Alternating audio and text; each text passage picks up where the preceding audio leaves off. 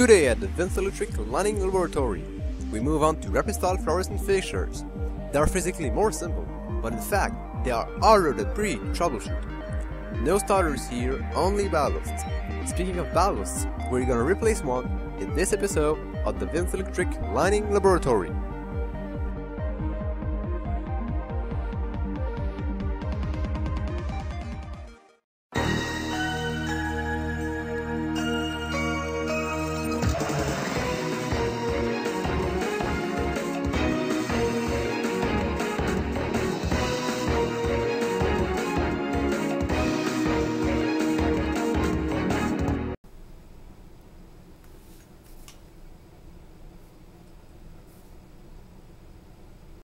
We are now seeing rapid-start fluorescent lighting. But what is it exactly? Well, it's not that complicated.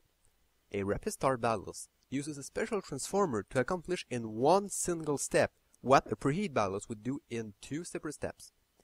Along with the main coil that supplies the lamps, there are two low-voltage coils that, that send around 4 volts through the electrodes to keep them hot so they don't sputter too much during startup. At the same time, the main coil sends around 180 to 200 volts across the tubes.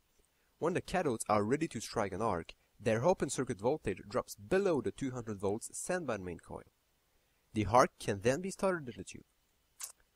In this video, we'll talk about the three main types of rapid start fluorescent fixtures, the wraparound, the troffer, and the strip light. From a type to another, things will change a little, but it basically remains similar. Let's get started!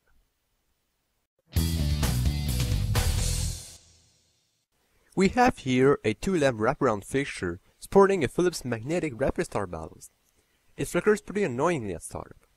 So for this video, I'm going to replace it by a Philips Advance equivalent electronic ballast. The first step is to cut power to make sure you're still alive when it's done. Then re remove the diffuser, if any. My fixture has one, but some fixtures, like the strip light, don't have any. Remove the tubes as well, and store them in a safe place if they're still good. If not, make sure to dispose of the tubes properly. Removing the ballast cover may vary from a fixture to another. Most wraparounds and troffers have a clip-on cover. Once the ballast is exposed, you have two choices. You can either simply cut the wires of the ballast, or remove the lamp holders and unconnect the wires. As a collector, I prefer doing the latter. Removing the lamp holders is usually easy to do. Unscrew the brackets, to which the lamp holders are either bolted or just clipped. Then my personal tip. Take a paper clip, unbend it, and insert it in the holes where the wires are connected. Then pull the wires out of the hole. The paper clip should come off easily as well, because the lamp holder can hold copper wires, but not steel wires. They're too hard. That's the secret.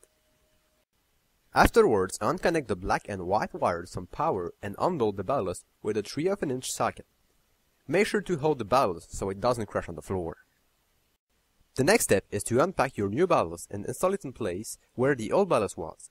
After many tries, get angry and fit the fixture to make it easier to install. Oh, oh wait, I wasn't supposed to add that part. Anyway, the new ballast should have the same size, so bolt it in place using the same bolt. Then connect the wires.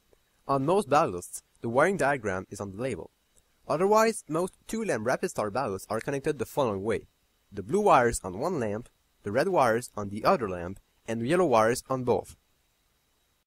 After connecting the wires, place back the lamp holders in place, if you remove them. You should now only have one black and one white wire. Connect them to their respective wire from the power source. Now it's time to install back the ballast cover, the lamps, and the diffuser if there is one. You're done. Just turn back on the power and enjoy your work. In our next video, the instant start fluorescent follows.